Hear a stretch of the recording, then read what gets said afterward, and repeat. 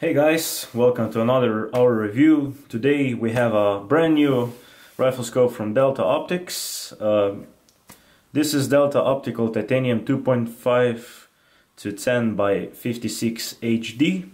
It was made in Japan, but Delta Optics is based in Poland. Like I said, this is a brand new model uh, made specifically for hunting. Uh, it was introduced in 2016 2.5 to 10 magnification range is very popular with European hunters. Uh, it features 56 uh, millimeter lens. Scope is meant for low light use. It replaces the old non-HD model. Um, the new titanium HD version provides much less tunnel effect than previous models. Other improvements are better field of view due to improved optical construction and better image uh, quality. Optical performance is in general way better than expected for this price range.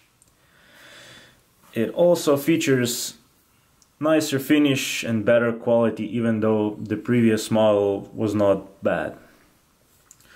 It has an unusual position for magnification indicator on the sight is right here. Um, normally is on top, but there's nothing wrong with that, I guess. Uh, it has a fixed parallax at 100 meters. Um, it has a really long eye relief. This is suitable for stronger calibers. The total length of the scope is 37 centimeters and weighs approximately 735 grams. It's waterproof, fog-proof and shock-proof.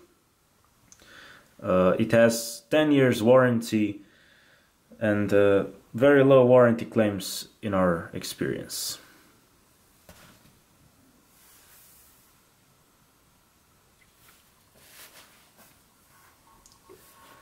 This brand new model from Delta has hunting turrets. One click moves the reticle for 7 millimeters on 100 meters.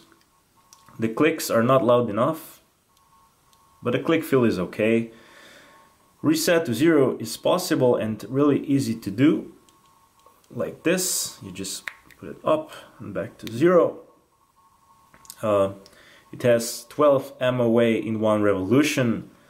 10, 10 MOA would be a much better solution, but it works fine as well. This model has second focal plane reticle uh, with a normal hunting 4A style reticle. It also has illuminated illuminated center dot. Uh, intensity levels goes from 1 from 1 to 11 from low light intensities to bright daytime intensities. Extremely fine illuminated dot due to the optical fiber in the reticle Illumination technology is better than in many more expensive scopes.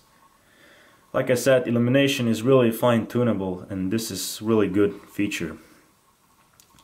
So overall, it's a really good scope for its price, great optics, amazing illumination technology for a scope under 1000 euros, good build quality and long eye relief. Of course, there are some things that could have been done better. Uh, one of them is definitely the size because it's really big and heavy. Like I said, uh, it's 30 centimeters long and weighs approximately 735 grams. A little, a little bit better eye boxing would be would be nice, but nothing critical. Uh, the other thing is that these clicks would be it would be better if they would be more audible. But it works as well.